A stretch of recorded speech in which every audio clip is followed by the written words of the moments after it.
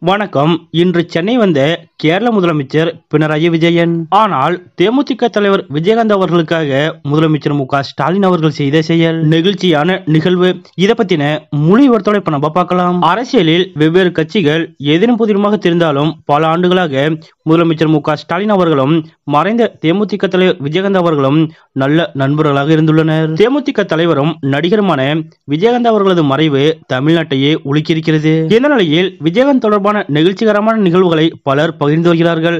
அதில் அதிகம் பேசப்படாதது முதலமைச்சர் மு ஸ்டாலின் மற்றும் விஜயகாந்த் இடையிலான நட்பு. அதாவது விஜயகாந்த் அவர்கள் முன்னணி நடிகராக திகழ்ந்த காலத்திலிருந்து பல ஆண்டுகளாக இருவரும் நல்ல நண்பர்களாக இருந்துள்ளனர். விஜயகாந்த் அவர்கள் கட்சி தொடங்கி அரசியலில் எதிரும் புதிருமாக இருந்தாலும் ஸ்டாலின் மற்றும் விஜயகாந்த் இருவரும் ஒருவர் மீது மற்றொருவர் காட்டமான விமர்சனங்களை முன்வைத்ததில்லை. மேலும் இருவருக்கும் ஒரு வயதுதான் வித்தியாசம். ஸ்டாலின் அவர்களுக்கு எழுபது வயதாகிறது. விஜயகாந்திற்கு தற்போது எழுபத்தி ஒரு வயதாகிறது. அதன்படி முதலமைச்சர் மு ஸ்டாலின் அவர்கள் எப்போது விஜயகாந்த் பற்றி பேசினாலும் நண்பன் என்ற வார்த்தையை தவறவிட மாட்டார். கடந்த ஆண்டு விஜயகாந்தின் மூன்று விரல்கள் அகற்றப்பட்டது தொடர்பாக ட்விட்டரில் முதலமைச்சர் மு ஸ்டாலின் அவர்கள் வெளியிட்ட பதிவில் எனது அருமை நண்பர் கேப்டன் விஜயகாந்த் அவர்கள் மருத்துவமனையில் சிகிச்சை பெற்று வருவதை அறிந்தேன் என்றும் அவர் விரைவில் நலம் பெற்று நல்ல உடல்நலத்துடன் இல்லம் திரும்ப விளைகிறேன் என்றும் குறிப்பிட்டிருந்தார். அதேபோல் முதலமைச்சராக மு ஸ்டாலின் அவர்கள் பொறுப்பேற்ற பிறகும் கூட ஒருமுறை விஜயகாந்த் அவர்களை நேரில் சென்று அவரது இல்லத்திலேயே சந்தித்து வந்தார். அத்துடன் விஜயகாந்த் அவர்களது ஒவ்வொரு பிறந்த நாளுக்கும் தவறாமல்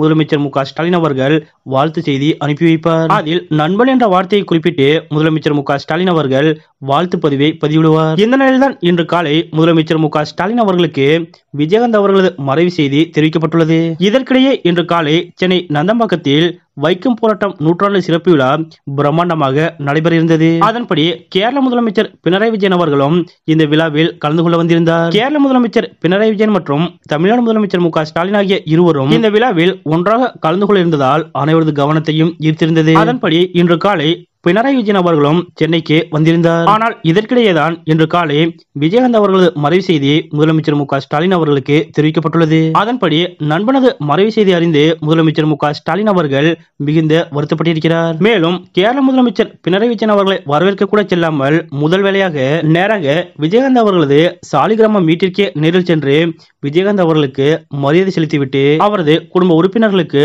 ஆறுதலும் தெரிவித்துவிட்டு வந்தார் முதலமைச்சர் ஸ்டாலின். அத்துடன் இன்று சென்னை நந்தம்பாக்கத்தில் நடைபெறிருந்த வைக்கம் போராட்டம் நூற்றாண்டு சிறப்பு விழாவையும் முதலமைச்சர் மு ஸ்டாலின் அவர்கள் ரத்து செய்ய முடிவெடுத்து கேரள முதலமைச்சர் பினராயி விஜயன் அவர்களிடமும் இது குறித்து ஆலோசித்து இந்த விழாவானது ரத்து செய்யப்பட்டது. அதற்கு பதில் சென்னை பெரியார் திடலில் உள்ள தந்தை பெரியார் நினைவிடத்தில் பெரியாரும் வைக்கம் போராட்டமும் நூல் வெளியீடு மற்றும் வைக்கம் போராட்ட நூற்றாண்டு மலர் வெளியீடு ஆகியவை எளிய முறையில் நடைபெற்றது. விஜயகாந்த் அவர்களது மறைவையொட்டி முதலமைச்சர் மு ஸ்டாலின் அவர்கள் செய்த இந்த செயல் அனைவரையும் நெகிழ்ச்சியடை வைத்தது தன்னுடைய நண்பரும் தேமுதிக தலைவருமான விஜயகாந்த் அவர்களது மறைவு செய்தி அறிந்தவுடன் கேரள முதலமைச்சர் பினராயி விஜயன் அவர்களை வரவேற்க கூட செல்லாமல் நேராக முதல் ஆளாக விஜயகாந்த் அவர்கள் வீட்டிற்கு பதிலெடுத்து ஓடி சென்று மரியாதை செலுத்தியதோடு மட்டுமல்லாது கேரள முதலமைச்சர் பினராயி விஜயன் அவர்களோடு சேர்ந்து பிரம்மாண்டமாக நடைபெறிருந்த விழாவையும் ரத்து செய்த முதலமைச்சர் மு ஸ்டாலின் அவர்களது இந்த செயல் பற்றிய உங்களுடைய கருத்துக்கள் என்ன அப்படிங்கறத மறக்காம மாநில குறிப்பிடுங்க.